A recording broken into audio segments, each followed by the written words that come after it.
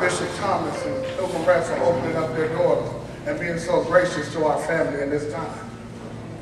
I thank God for my pastor, Reverend C.R. McDuffie, who has supported me. Pastor Black, Pastor Cotton, Pastor McGee, Pastor Pullen, Barnwell. A lot of these men, I grew up as a little boy watching them preach. And let me tell you the truth. They will do my grandma a lot probably better justice than me because they have been doing this for a long time. A lot of qualified preachers in the audience. Come on, preacher. A lot of men of God who will tear this pulpit up. But my grandmother asked me, little old me, an old nobody from South Phoenix, grew up with ashy elbows. And for all my flaws, my faults, my failures, sometimes I disappointed her. Sometimes she had to cry over me and pray hard over me. Just little old me will stand and try to do justice to this great woman of God. If you want to know how I'm going to do it, it's because my soul is anchored, it's hooked up, and it's connected to the same thing that she was connected to. Hey, come on now. Ought to praise God for the life she lived, for the courage she had. I love my grandma. See, a lot of my family, I love her, and I know she loves me.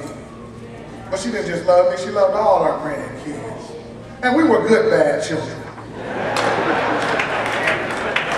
I look at children nowadays, and they just bad. We were good and bad. We knew how to be good when the adults were around. We didn't cuss till they went in the house. Running around with my cousin Shimon, and we knew how to be bad. And every now and then we get caught being bad, and Amy's and them would tell us to get a switch off the tree. And they would make you work to pick the cherries off the tree. Get the switch right, and bring it in the house. And I thought about that. I wondered why I got a whipping back then and I didn't understand. But when I grew older, I understood that they whipped me because they loved me. They corrected me. They didn't want me to go off to prison. They didn't want me to die off in these mean streets. And so when I thought about what could I talk about to justify such a great life, God told me, you tell them about my love. And directed me to Romans, the 8th chapter.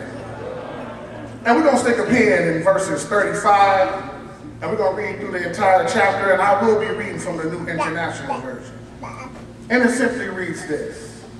Who shall separate us from the love of Christ? Shall trouble, or hardship, or persecution, or famine, or nakedness, or danger, or sword? As it is written, for your sake we face death all day long. We are considered as sheep to be slaughtered. Knowing all these things, we are more than conquerors through him who loved us. For I am convinced that neither death nor life, neither angels nor demons, neither the present nor the future, nor any powers, no height nor depth, nor anything else in all creation will be able to separate us from the love of God that is in Christ Jesus, our Lord for a few moments, I want to take your time to talk about in the footsteps of love. In the footsteps of love. Here in the eighth chapter, Paul, talking to the Romans, raises a good question.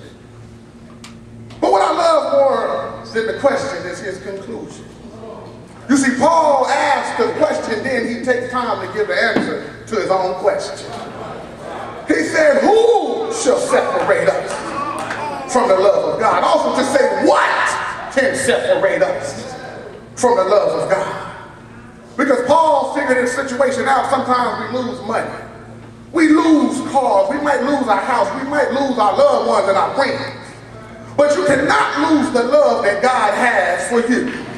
Because the love God has for you is agape love, which is unconditional.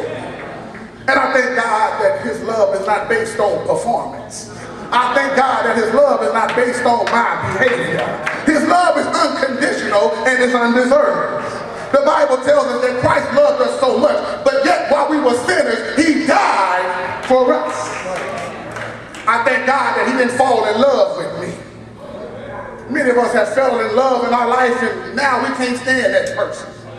Because something happened to where we didn't love them anymore. Because I found out that if you can fall into something, you can also fall out. And I'm glad that God didn't fall in love with me. Because there were some times that I was unfaithful. There were some times that I was disobedient.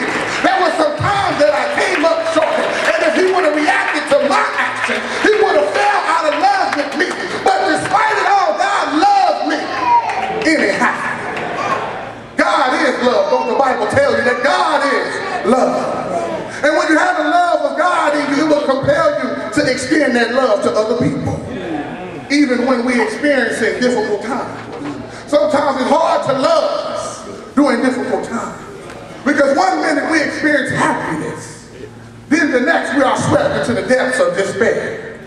Sometimes during our storms, our trials, our afflictions, we lose sight in the fact that God still loves us and expects us to love.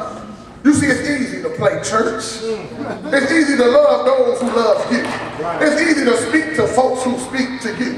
It's easy to name it and claim it, fake it till you make it. It's easy to act like you're happy. It's easy to shout when money is in your pocket, but what about when trouble comes? When distress, when tribulation, when persecutions come, can you still love or do it change your character?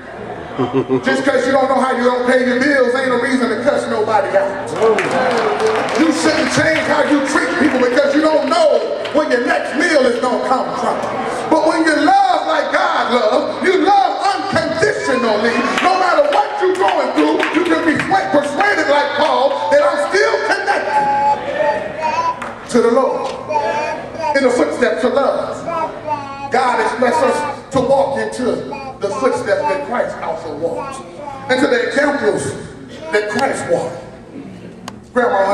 This just because you're saved, sanctified, and filled with the Holy Ghost.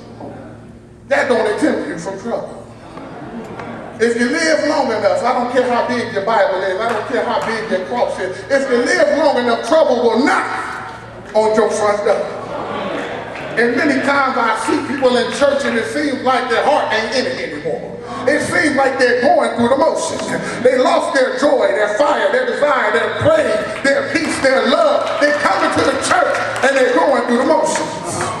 Because distress and tribulations have made their burden seem heavier, their mountains seem higher, their nights much darker, their roads much rougher, and their problems much greater.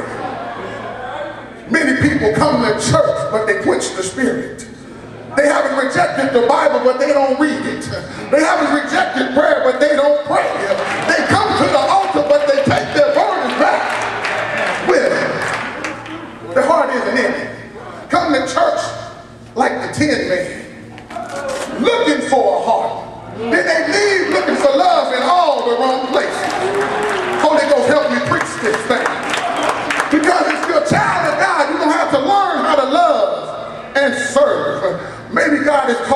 be a witness at your school. Maybe he's calling you to be a witness at your job. He's calling for you to do something, but many of us treat God like 911. Mm-hmm. Call them when you need them. You know you don't call 911 every day. You need them. Only when you need help. All right. Or when you're in despair. But I found out normally folks treat God like a cell phone. You know, we got these high-tech cell phones now, and you can look and you can see who's calling you. And if you don't want to talk to them, there's an ignore button. You can hit the ignore button and send them straight to the voicemail. And many times God has been calling on us. Yes. Calling on us to be better than what we are. Calling on us to love and to serve. And many of us hit the ignore button and send it to the voicemail with all the rest of the unchecked messages. Jesus told his disciples, if you're going to walk down this road, it ain't going to be easy.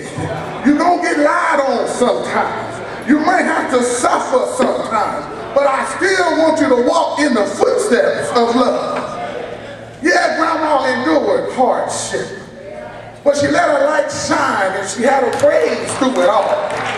She didn't complain that God was being unfair. She didn't in word, but by deed. She walked by faith and not by sight.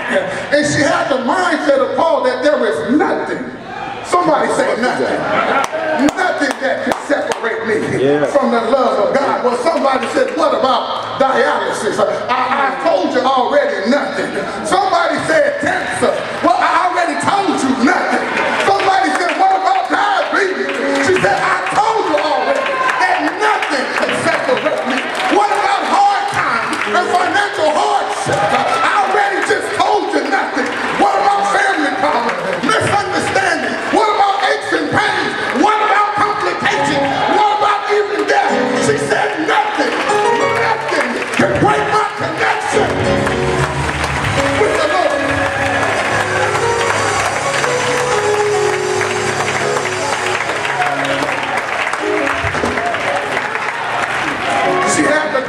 She had to cry sometimes.